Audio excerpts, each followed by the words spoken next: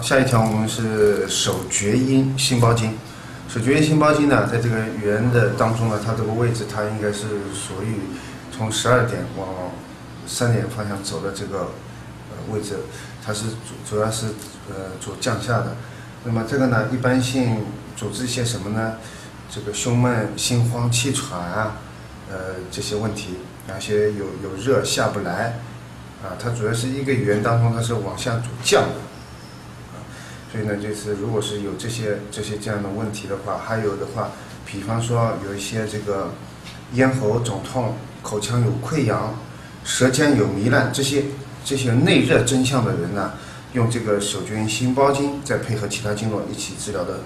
呃，效果是比较好的。因为我们现在大家在做的时候呢，就是不做劳损，所以大家在学的时候呢，呃，直接就是从经络下手，这个呢也比较好，因为 这个用力呢，大家也不会。用到很大的力，像这种经络推的时候呢，都不太需要用很大的力啊。另外一个，我再补充一下，像这种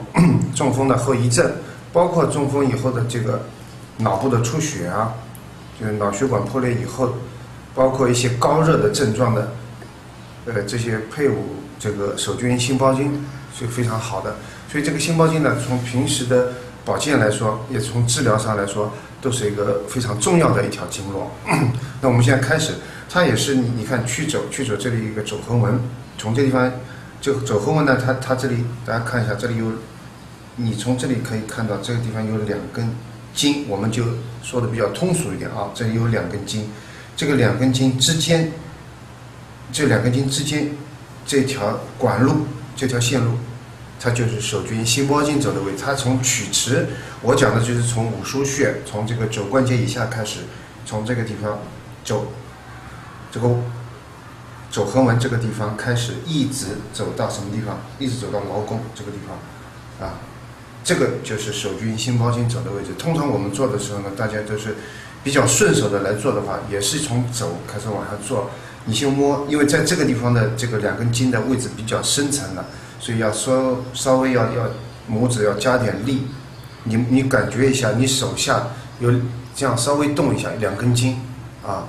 两根筋之间的位置，再再看上去，看到这个肘横纹，你曲肘找去一下肘找，好，这个地方就是曲池，曲池开始我们慢慢揉，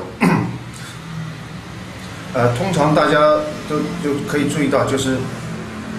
从曲池开始还不明显，一直往下走，走到这个中段的时候啊，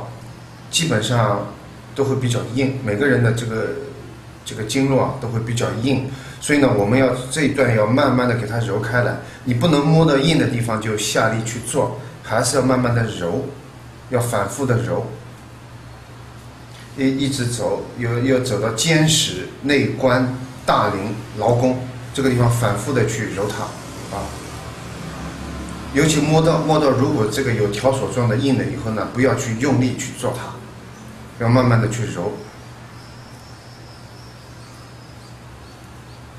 呃，揉的时候呢，要注意手下呢要带点力。如果你不带力的话呢，你碰到这个这个筋比较在前表的皮肤的前表的位置上，你不用力的话，它会滑掉。因为有有些人，他比如说有高血压的，或者是脑脑颅压比较高的一些人，或者说他这个。有热没有办法往下降的人，他整个的这个地方是会绷得比较紧。你要是手不不用点力的话呢，他这个你按在这个地方会跑掉，会滑掉。所以一定要按在这个两筋间，所以叫两筋间。这个内关呢是一个比较比较大的一个穴位，也是一个比较重要的穴位。你可以多花点时间，慢慢的去揉它。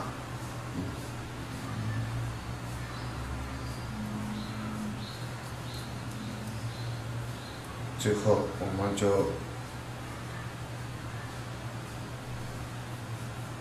这个劳宫这里啊，劳宫也是一个比较容很容易得气的这么样一个点。